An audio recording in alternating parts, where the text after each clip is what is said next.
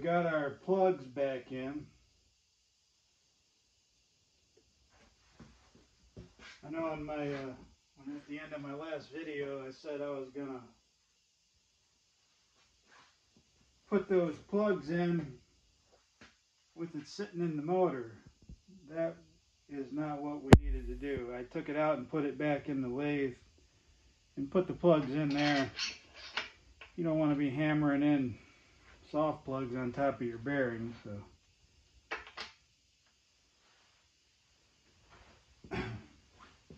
That's what I ended up doing.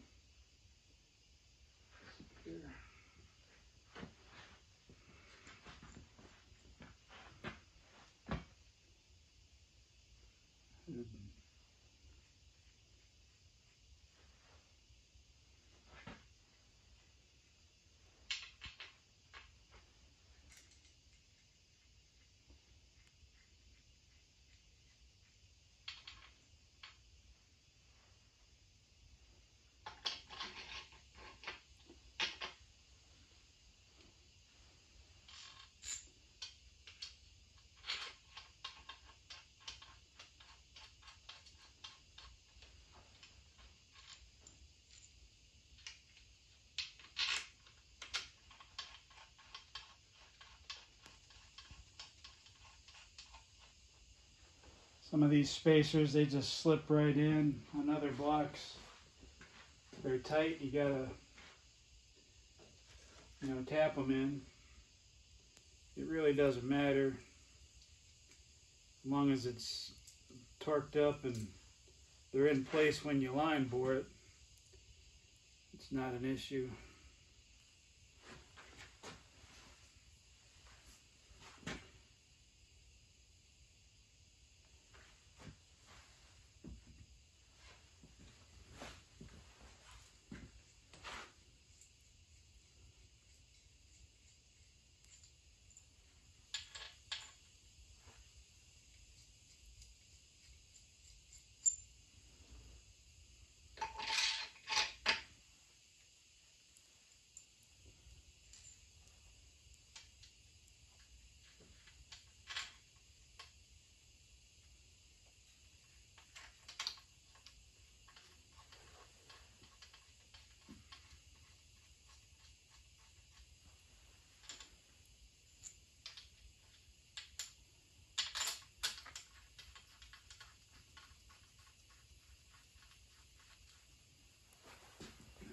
We'll fast forward through that part of it.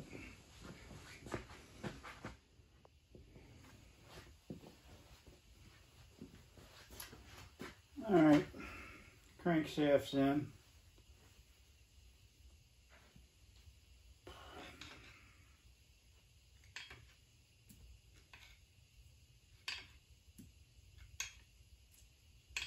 Got plenty of end play.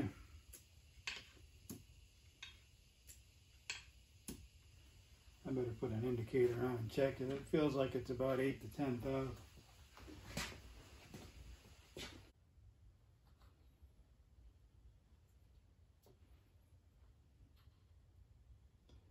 All right.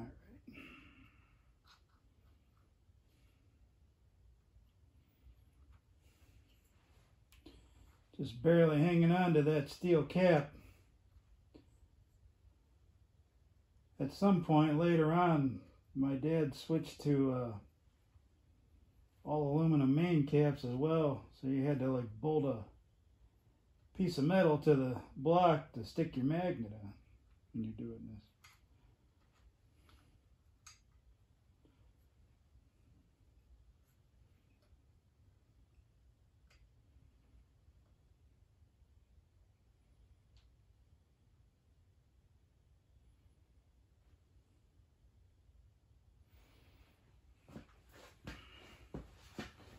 Now let's see what my how we're looking there.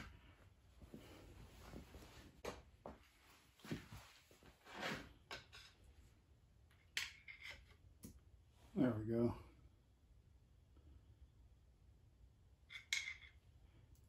Eight thousandths. I knew it was in there somewhere.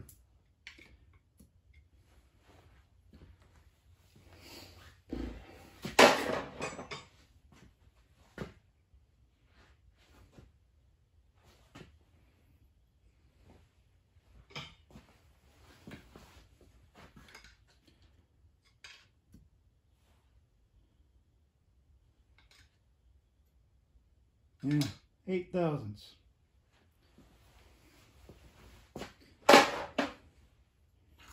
So that's good.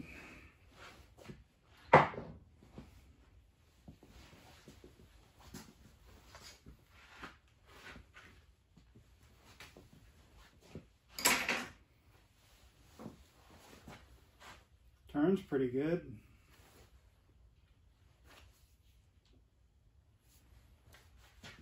So we'll have to put our gaskets in here, which I usually do that right before I put the oil pan on. So we'll get our pistons ready and we'll put those in. But we're getting there.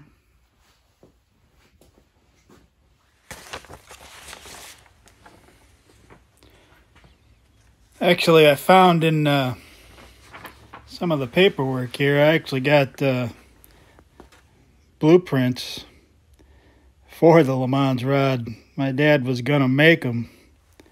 We was going to make uh, Le Mans rods out of 4340. But he had the blueprint, or he drew the blueprints. I think this is one of his. I think he might have actually had the forging die made too at one point, but we never did have any made. Um, here's the cap. Just interesting.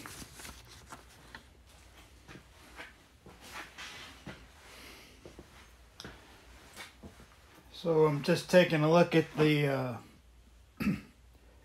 pistons for our uh, our Cammer build here and uh, looks like everything's okay. Um, one thing I don't like is that these rod bolts here, Le Mans rods are supposed to have a washer under them, and these don't have it, which I think whoever made these bolts did that by design. But I don't like it, so I do have these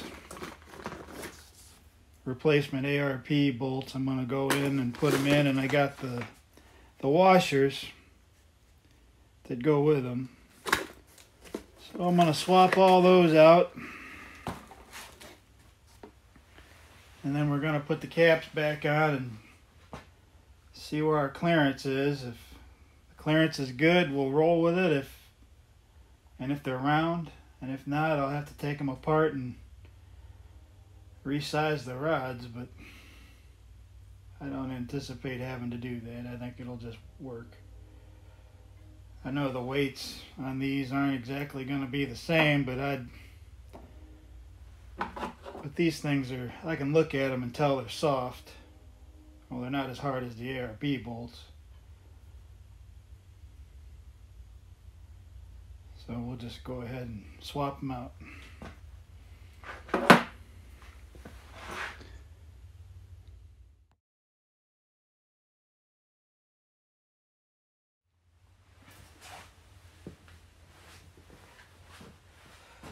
So these rods only have one and a half thousandths of bearing clearance.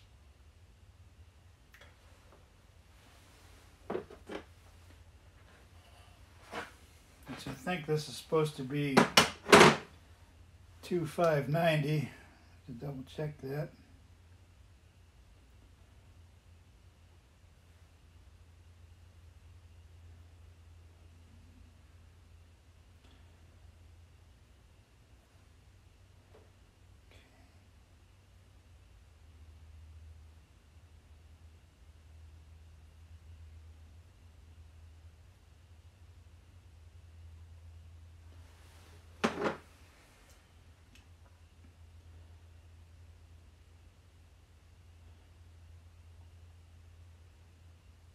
And we are at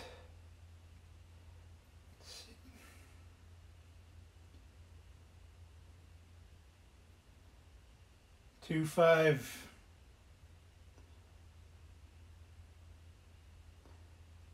eighty eight and nine tenths, just under two five eighty nine. So it's a thousandths under, that's for sure. That's odd. Because all this stuff was. These rods have been reconditioned. I don't know why they would be a thou under. Let's see here. These are the bearings that came out of it. 756, CB 756. I don't even know what that is.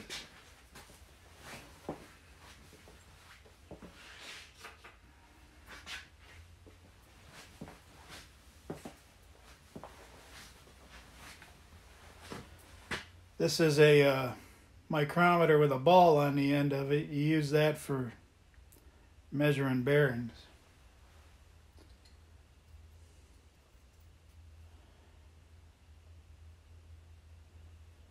This thing here,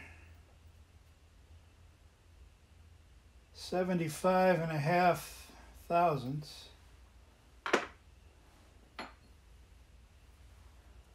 This is my 952 I wanted to use.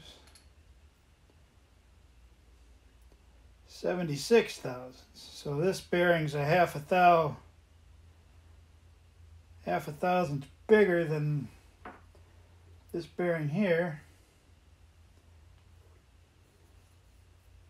Which you add, take that times two because there's two halves, that's your thousand. So these rods were reconditioned to fit these bearings, but these bearings are old and I don't have any more of them.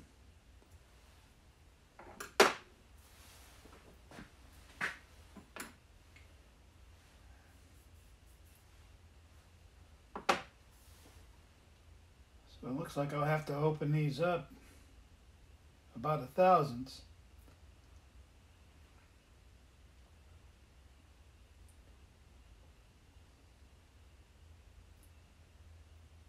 I bought this whole uh, the uh, crank rods and pistons. I got all these off of Facebook Marketplace. I only get 500 bucks for it all.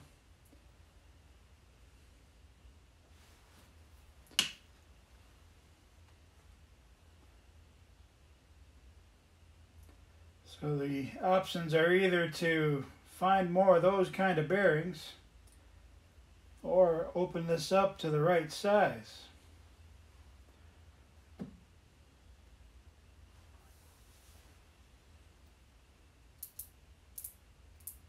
We'll have to see what to do about that. I'll have to think about that a minute.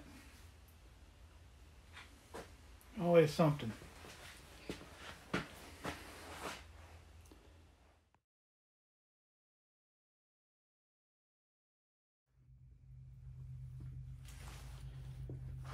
All right. So I did make a uh, business decision here on this Cammer.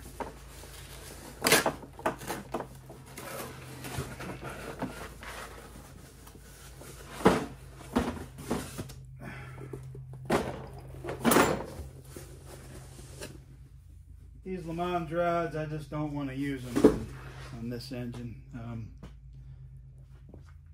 customer agreed to pay for the Le Mans rods, but uh,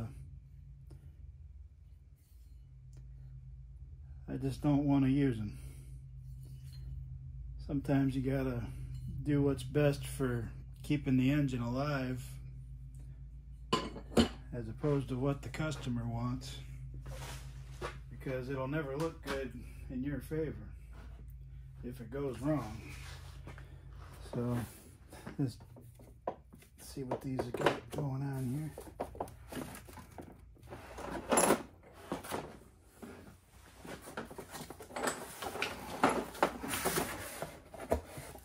Peace. These things are, they came shipped like that, all oily. That's actually, that's rust proofing.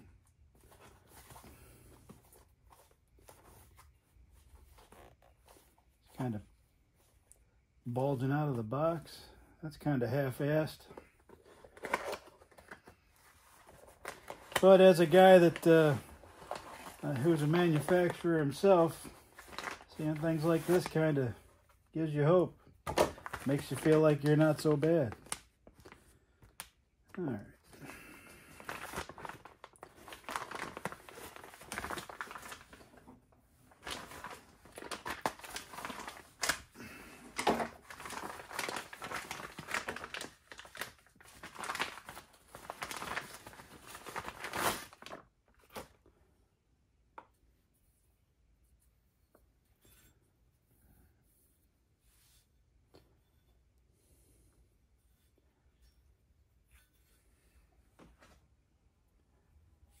See here.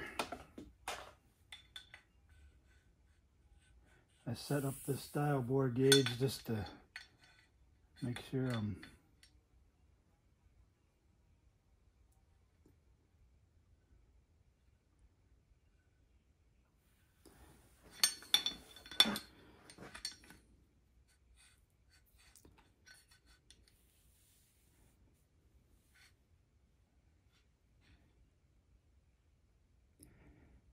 See, that's about two tenths over. They're supposed to be two inches 590, so that's about two tenths over. I'll have to check them all.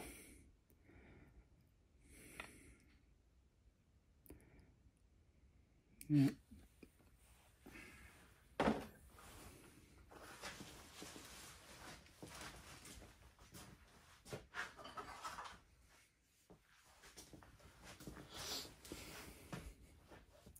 This is a, uh, a super stock rod from Crower. This is like a $2,500 set of rods here.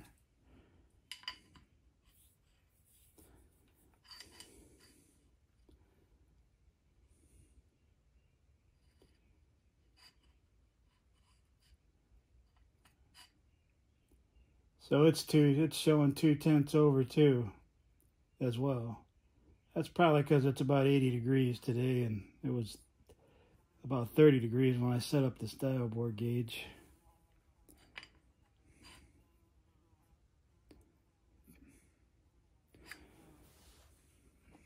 All right.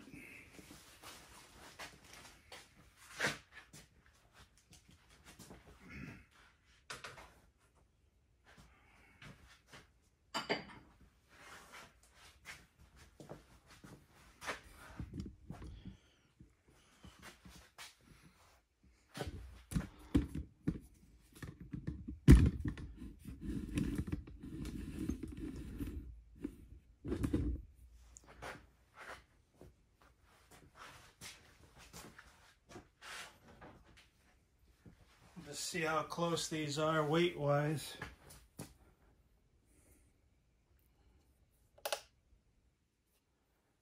All right, we're in grams.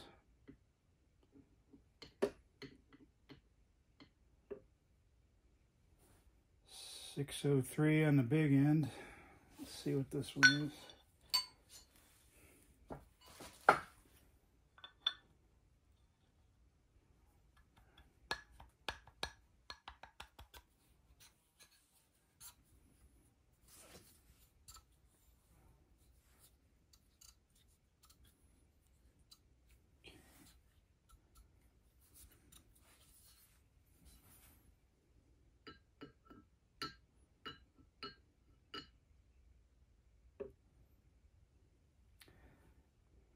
They're within one gram that way. I'm not rebalancing nothing. I'm going to just use them. Let's see what else we got.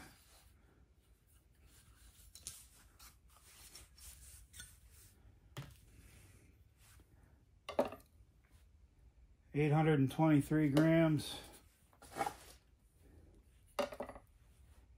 828 grams. Yeah, we're not rebalancing anything just swap out the rods and go.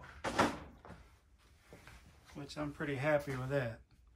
So I'll just go ahead and double check all my weights and clearances and we'll finally get our bottom end together.